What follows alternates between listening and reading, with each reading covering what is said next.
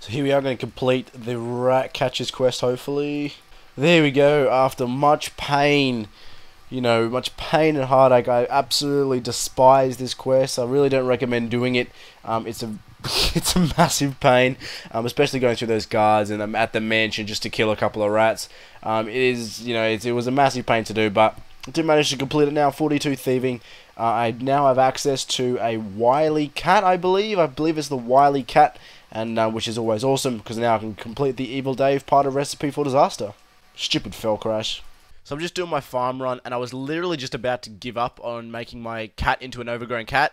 Uh, but I just got this message: your cat has gone into a, a mighty feline but it will no longer be able to chase vermin. So what I can do now is I can actually go take this to the rat catchers, one of the rat catchers um, NPCs, and then train it into a wily cat, and then use that wily cat to then catch uh, rats or hell rats really, really quickly, making the Evil Dave part of Recipe for Disaster a um, not well, I guess not an annoyance. It's going to be very, very easy to catch myself all of those hell rats to complete this this part of the quest. So let's do a little jump for joy.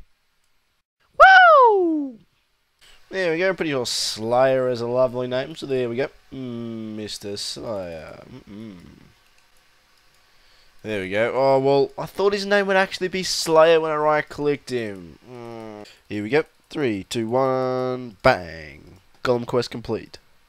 So the Evil Dave part of Recipe for Disaster took me a, a little bit longer than expected because I did need uh, two red spices, I needed three yellow spices, three orange spices, and three brown spices. And the most unlucky thing you can get is a combination of four, four, four, and four. But I had two, three, three, and three. So I did get quite unlucky when it comes to the spicy stew. But then again, I did have my wily Hellcat by my side, which is absolutely awesome. Um, I do recommend getting a wily um, a wily Hellcat before you do the Evil Dave part of the quest because you know it's not really difficult to get the wily Hellcat. It doesn't really take long. You probably like three or four days or something like that. Um, and it does make the uh, Evil Dave part of Recipe for Disaster very, very easy. Um, and there we go. So there's 7,000 cooking experience. That won't really do anything, especially when I'm 70 now. But I that will unlock the ability for me to use uh, rune gloves. So that's always nice. You've served me well, Mr. Uh, Mr. Wily Hellcat. And man, that looks like a demon in my inventory there. But I'm going to chuck this in the bank. I'm not sure when I'm going to see you next, my friend. But um, I now have the ability to use uh, rune gloves. Nothing too spectacular, I, I guess, but um, you know, better than Addy gloves, and I guess it's better than a combat bracelet.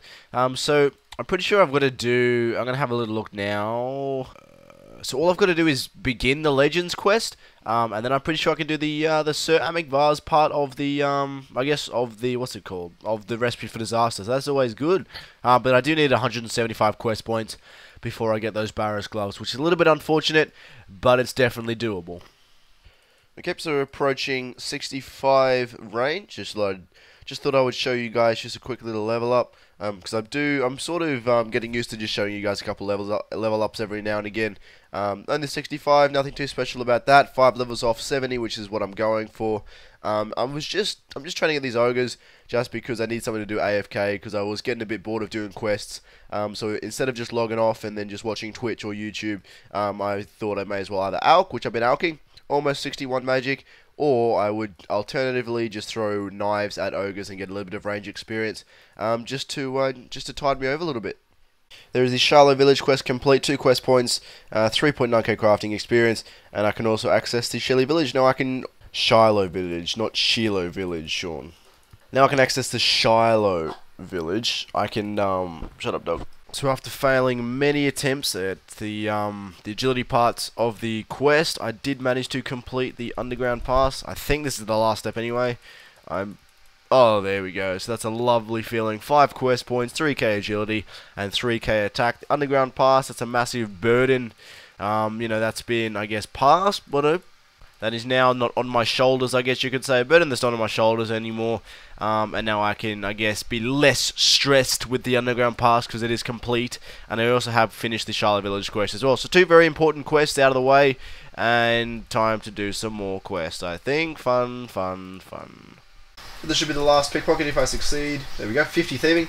Um, I'm going to go jump over. I've just bought uh, 120 Ranarr weeds as well.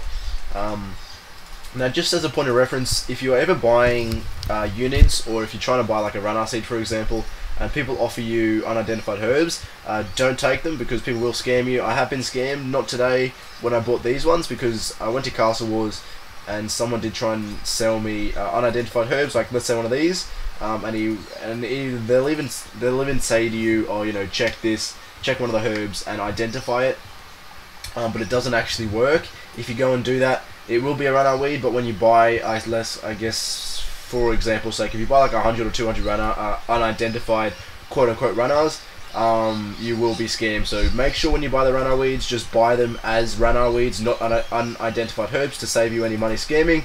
Um, because people do scam, and it is kind of sad that people do scam, uh, even in 07, regardless of the level. I've been scammed by level 120. I thought it would would have been, uh, you know, would have been honest because you know level 120 who who would be level 120 is still scams like a little three year old but you know 100 make sure you buy your NR weeds rather than the unidentified herbs um so you don't lose any money. It's better spending a little bit more money than trying to buy really really cheap um, and losing all your money. So I'm going to put these together and uh, get 45 herblore followed by 600 experience in crafting uh, to get me 50 crafting so 45 herblore 50 thieving 50 crafting and then I can do the legends quest and here we go. Is 45 Herblore. I can now... Oh, actually, no, I can't quite do Legends Quest just yet. I got to do um, 50 crafting. And there we go. There is 50 crafting as well. I'm going to double check to see if we have all of the requirements for... There we go. Uh, all of the requirements needed for the Legends Quest. I guess we can get cracking with that and see how difficult it is. I don't actually remember uh, if the quest was difficult or not, but I guess we'll find out. So a couple minutes later, I've managed to, I guess, finish the uh, the Legends quest. You know, the quest took me a little while. Um, by a little mile, a little while, it's probably taking me about two hours to complete. Um, call me a noob or whatever, but I guess you know it is what it is. But I'm not quite sure. I think I've got to go inside and collect it. I'm not sure. Okay, I'm pretty sure all I've got to do is look at the totem pole and Nope. Alright, let's speak to this guy now. I'm gonna I'm gonna load them all onto Herblore, I think. There's a little bit more Herblore experience. Yep, definitely gonna load up Herblore, I think. Actually, I'm gonna do one agility level, just for the heck of it, I think. I'm gonna try an old mate Urkel, I think. And boom! Get me those Legends capes, look at those.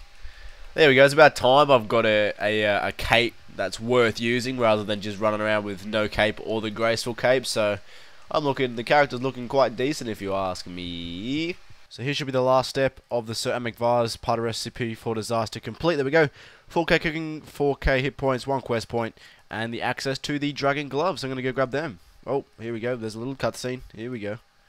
And I also decided just to jump on RS3 as well. So all I'm doing on RS3 is basically just tuning the harp, I guess, because hopefully I don't get put into the final final battle with the uh, recipe for disaster thing. I'm just going to make sure. Um, but I've been just, I guess, tuning the harp, just um, getting some, what are they called? They're um, pretty sure that they are the the harmonic dust because I just want to get the crystal uh, the crystal hatchet as well as the crystal um, the crystal pickaxe. Just it's something to do while I can uh, play RuneScape 07 and it's really really really AFK all I've got to do is click on the harp every now and again and um, it will get me tons and tons of harmonic dust. So that's all I'm doing on, on RS3 but um, I want this cutscene to finish so I can then so I can then go get myself those dragon gloves and there we go, the Dragon Gloves, the ultimate Dragon Gloves. I've only got one more gloves to go, and that's and they are the Barrows Gloves. So I'm looking forward to getting those, but the Dragon Gloves will do um, in the time being. Yay!